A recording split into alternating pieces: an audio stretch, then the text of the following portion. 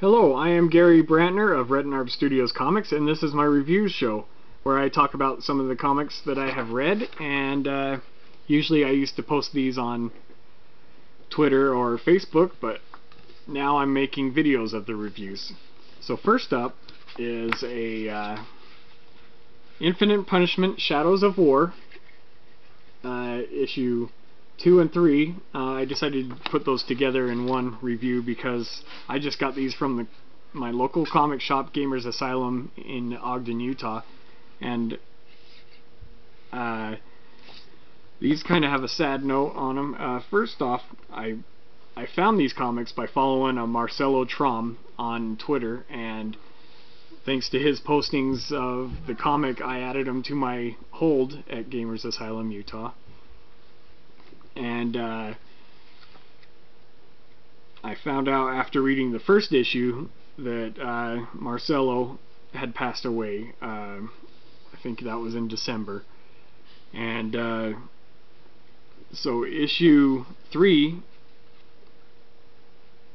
came out after he passed away, and uh, they they left uh, the ish the pages penciled but not inked and just lettered over his pencils because they thought that'd be a nice tribute to uh, Marcelo afterwards. Uh, these stories are about, these comics are about a, uh, a demon that escapes from hell and uh, comes into our world. Um, they were pretty good, kind of fun, drawn in a, uh,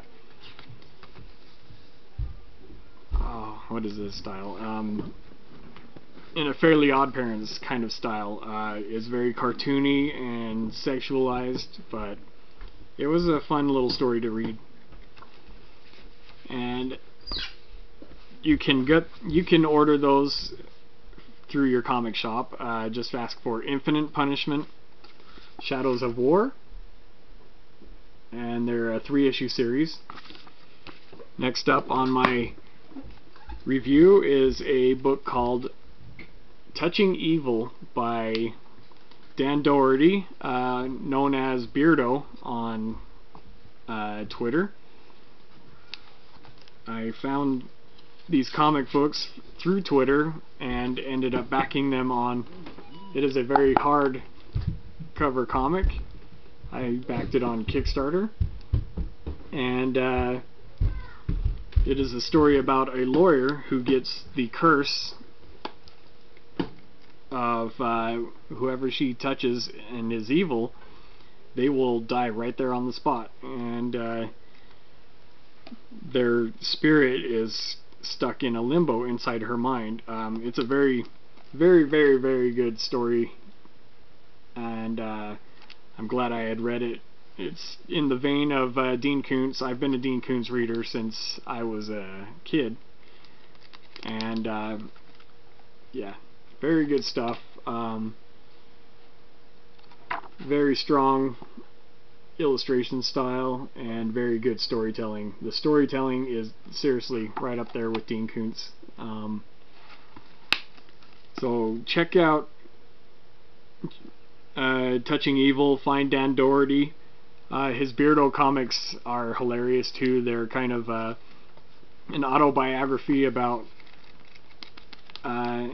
uh, how he uh, worked at a comic coffee shop and uh, how he meets his spouse and very interesting stuff. But that's how I discovered him and uh, got clued into this comic book. Very good stuff.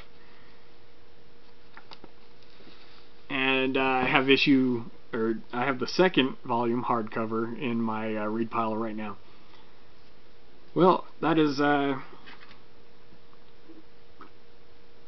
Ooh, okay, uh, that is all I have to uh, review for right now, and uh, thank you for watching.